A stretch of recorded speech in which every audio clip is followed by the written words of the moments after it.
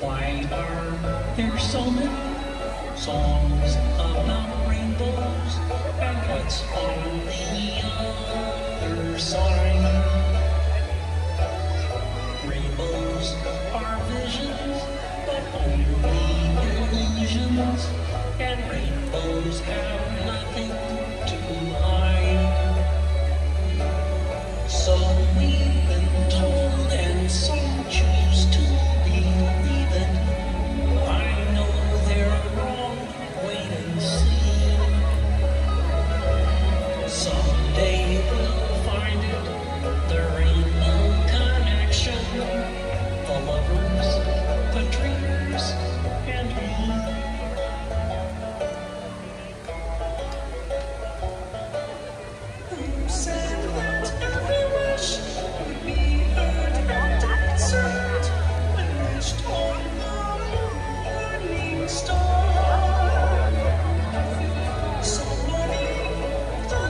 and someone